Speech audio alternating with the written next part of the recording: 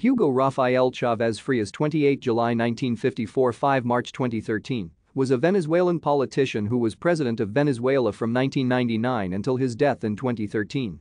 Chavez was also leader of the Fifth Republic Movement political party from its foundation in 1997 until 2007, when it merged with several other parties to form the United Socialist Party of Venezuela, which he led until 2012.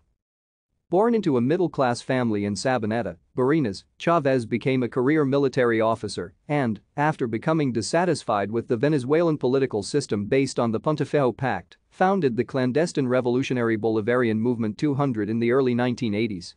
Chavez led the MBR 200 in an unsuccessful coup d'etat against a Democratic Action government of President Carlos Andrés Pérez in 1992, for which he was imprisoned. Pardoned from prison after two years, he founded a political party known as the Fifth Republic Movement and was elected president of Venezuela in 1998 with 56.2% of the vote. He was re-elected in 2000 with 59.8% of the vote and again in 2006 with 62.8% of the vote. Thank you for watching. Like and subscribe if you would like to view more of our videos. Have a nice day.